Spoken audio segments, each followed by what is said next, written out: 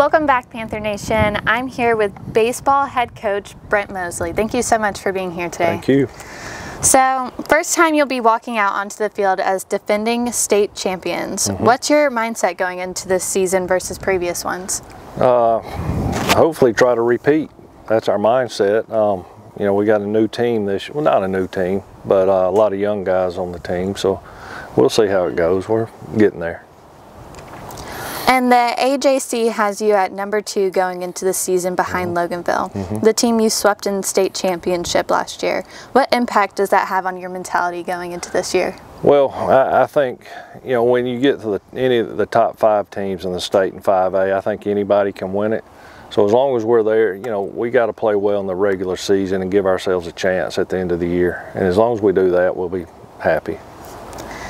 And does it give you any added motivation with Loganville being in front of us? Maybe a little. I, I, uh, I know it does the coaches. Um, I haven't heard the players or I haven't asked the players about it, but uh, I know it gives the coaches a little motivation. Yeah. And what are y'all doing to prepare for the upcoming season to hopefully repeat as state champions? Just uh, trying to learn. You know, a lot of 10th graders on the varsity, so they're we're trying to get them caught up on how we're supposed to practice and what a championship practice looks like. And uh, just you know working through those types of things. And uh, so y'all graduated some solid players last year, many of which are playing baseball in college now. Mm -hmm. How do you feel the cleats of the team, the year's team last year? Um, well, you don't feel their place by any means. That was a great class and really a whole lot of really good players. So, you know, each kid just has to come in and try to understand their role, and if everybody will do that and perform up to their abilities, we'll, we'll be pretty good and have a chance.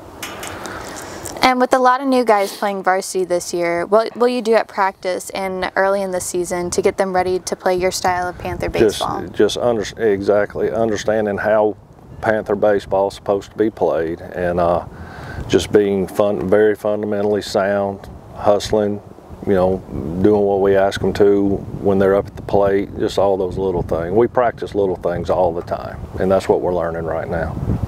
And with baseball and several other sports at Starr's Mill, we always talk about front loading the schedule with difficult opponents. Mm -hmm. Have you done that again this year? I have. Yep.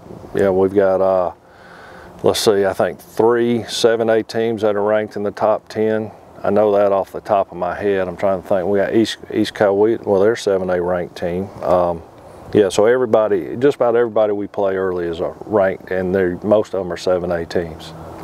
And what what's the reason, and how do you make that translate into well, another deep run? The better competition you play early prepares you, because our region's really good, and so I feel like the better teams we play early, it's not a shocker when you come out and you see a Harris County or a North Side with a really good pitcher because you've been seeing good pitching the whole time.